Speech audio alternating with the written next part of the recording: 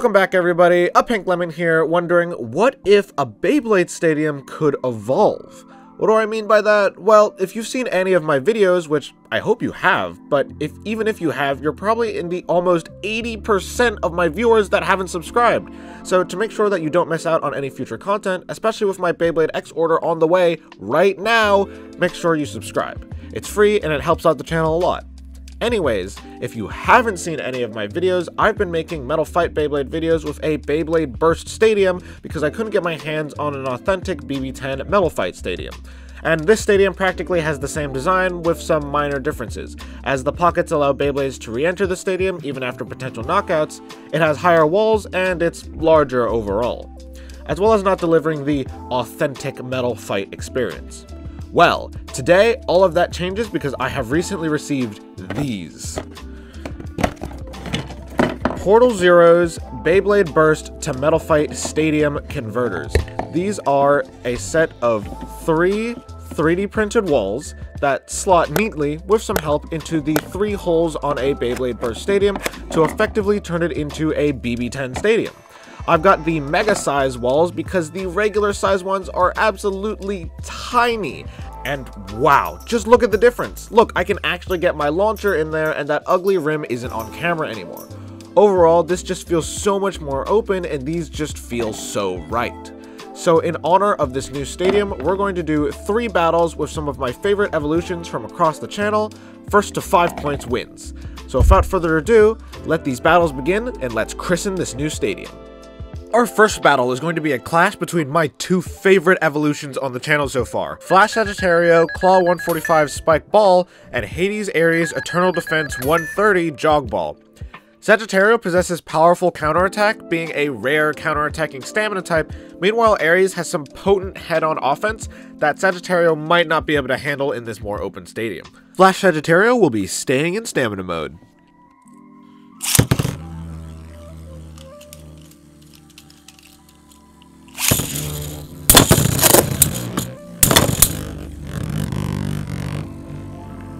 After being knocked around for a while, Sagittario finally succumbs to a clean knockout from Hades Aries, making the score now 1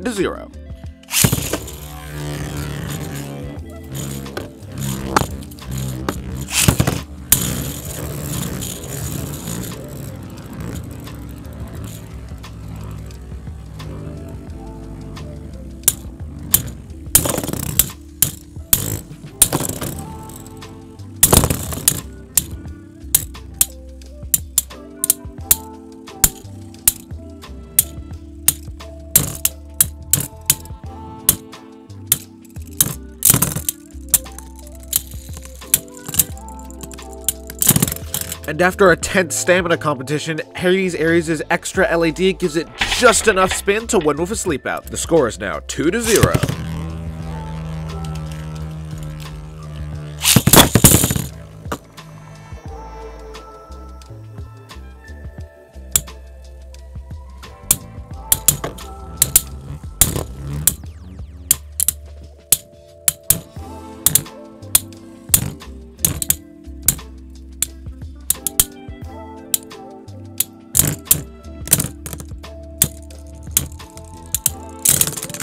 And even though it comes down to stamina once again, Aries manages to get underneath Sagittario, causing it to scrape and winning with a sleep out. The score is now 3 to 0.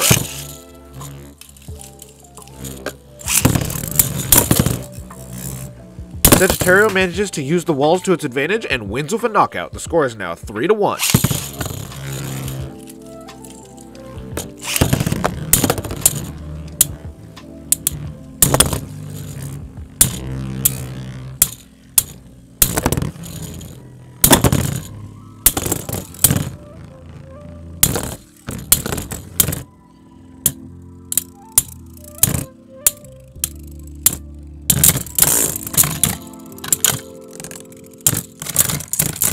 After getting knocked around a bit, Sagittario manages to hold its ground and wins with a sleep out. The score is now 3 to 2.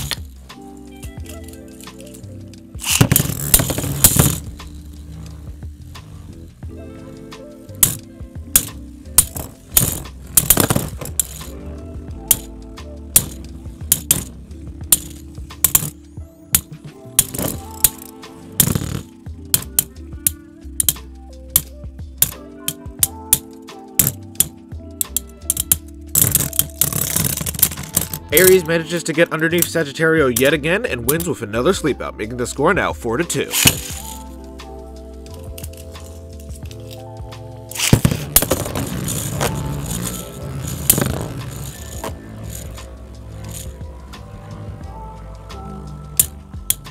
And with another clean knockout, Aries wins the match. Wow, what a great showcase of the new stadium. Ordinarily, Sagittario would be able to use its shape to ricochet itself back out of a pocket, but it's able to do no such thing here.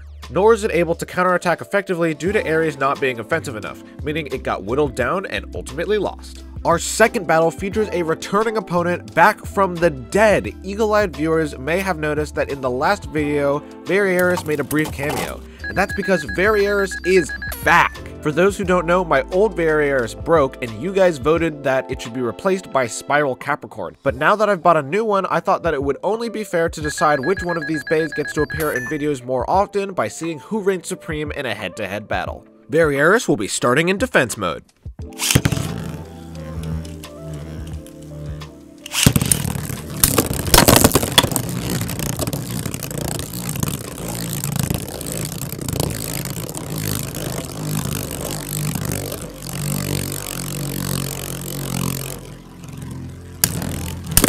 Variares lands a counterattack that sends Capricorn flying out of the stadium, making the score now 1 to 0.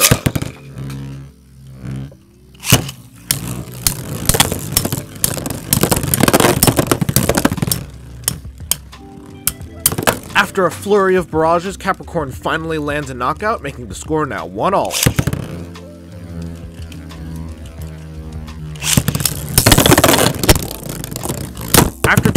Extremely high recoil hits, Capricorn is knocked out once again, making the score now 2 to 1.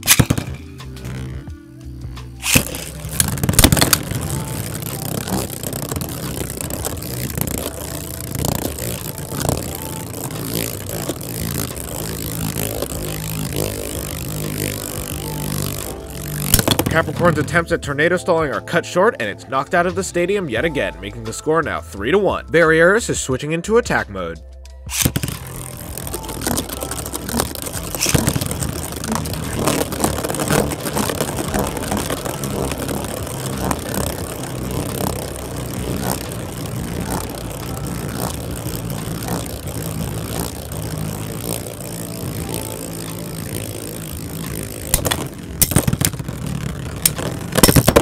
And after not being able to catch up to each other racing around the stadium, Variares manages to land an upper attack on Capricorn that sends it flying over the walls of the stadium, making the score now 4 to 1.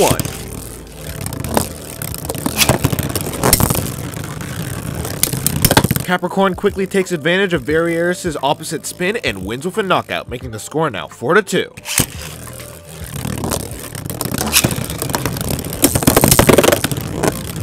And after getting hit, Capricorn uses the wall to its advantage, ricocheting off of it and knocking out Variares, making the score now 4 to 3.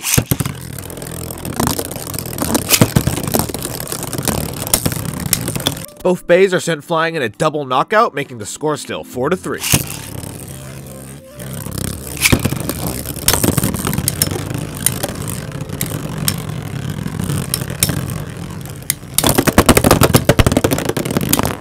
Variares somehow manages to land a counterattack that sends Spiral Capricorn scraping around the stadium, winning the match with a sleep out of all things. Damn, it was fantastic being able to see these two powerhouses finally go head to head, especially in a larger stadium like this. And man, it really seemed like Capricorn was gunning for an unexpected comeback. Unfortunately, its superior stamina meant nothing in the face of Variares' superior attack power. Finally, viewers, you are in store for a lightweight clash, as we're going to be battling our Meteo L-Drago upgrade Meteo Assault Gravity Ball 145 Extreme Flat against our Fang Leone Defense 125 Metal Ball Evolution to see who is the superior lightweight combo. Fang Leone will be staying in counter mode.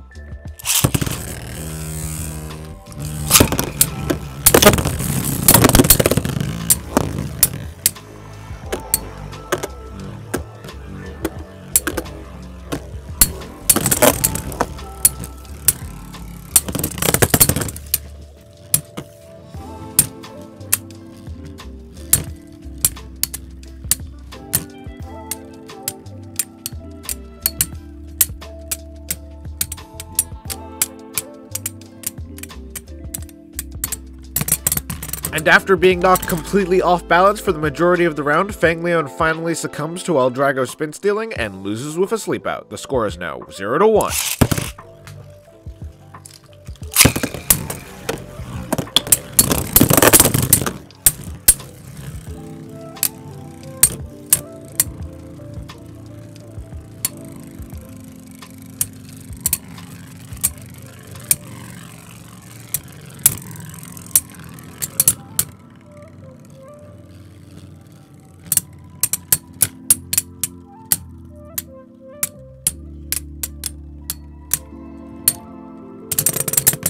With Fang Leone off balance and unable to counterattack, Meteo Assault wins with another sleep out, making the score 0 to 2.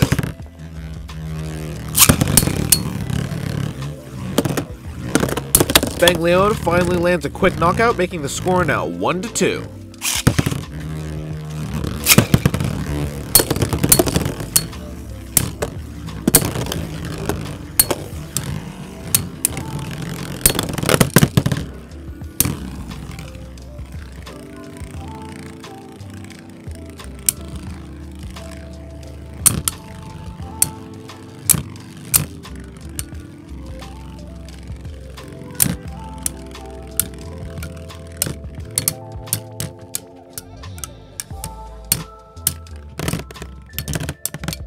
Meteo Assault managed to get Leone so off balance it actually scraped the stadium, causing heavy stamina loss and easily delivering it a victory with a sleepout. The score is now 1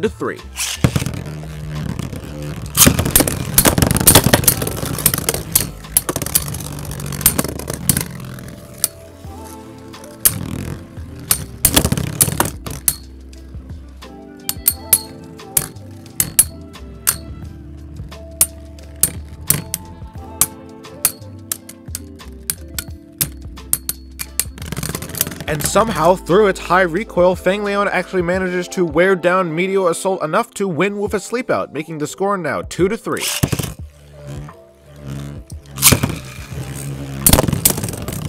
Meteo Assault lands a very quick knockout, making the score now 2 to 4.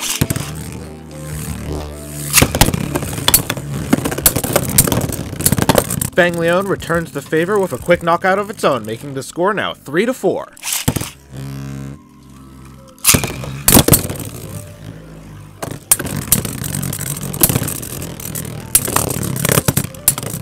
Fang Leone, having now started using its imbalance to its advantage, manages to get underneath Meteo Assault and land a knockout, making the score now 4 all.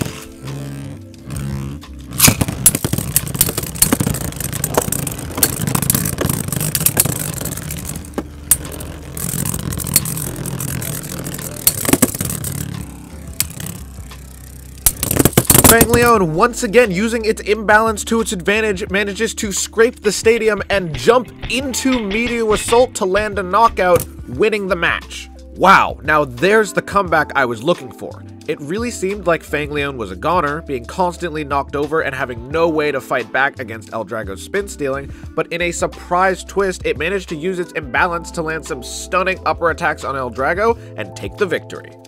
Wow, those battles just feel so much cleaner in this new stadium. Although getting the sound just right might take some time, this stadium is most definitely an improvement. It's easier to launch in, easier to film in, and the walls don't make that awful rattling noise when they get hit. And the open air above the stadium allows for knockouts like this one with Capricorn that just weren't possible before. Huge shout out to commenter and Discord user Gabe for drawing my attention to this product, and of course Portal Zero for making them, because they are going to revolutionize future videos, and I literally wouldn't have ever found them otherwise. These are insanely helpful for a low budget creator such as myself, but I'd like to know what you guys think. Should these become our default stadium, or does the old fashioned burst stadium still have some potential uses? Let me know in the comments below, and as always, leave a like if you enjoyed the video, and subscribe for more future future content. Until next time, I've been a Pink Lemon, and I hope you have a great day.